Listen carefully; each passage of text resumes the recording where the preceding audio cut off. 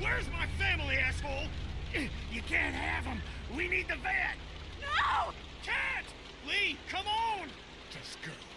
I won't be far behind.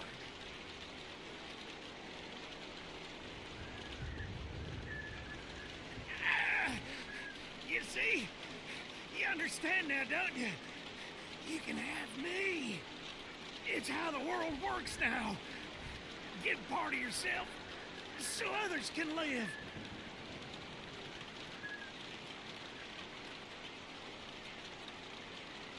Cannibalism is not the answer!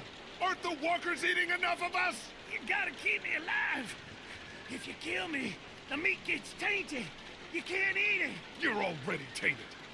You ain't gonna kill me. Just like you didn't kill Jolene. You don't have what it takes.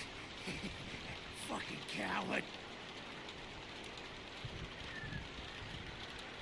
Ah! This is not how the world works now. You won't make me kill you! Fuck you, Lee. You and Kenny murder my dad, but you leave this piece of shit alive? Fucking asshole.